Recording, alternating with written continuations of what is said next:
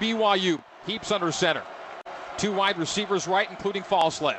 Play action. Jake pumps, end zone, man there. Apo touchdown! Ross Apo! His first touchdown as a Cougar and a huge score for BYU. It's 13 to 6 with the PAT pending. 9.52 to play. What a great drive. Finished off by number 11, Ross Apo. Takes a shotgun snap. BYU gets in. He's being chased. He goes out. Fumble! Picked up. And who's got it? At the goal line. Who's got it? Touchdown! Touchdown BYU!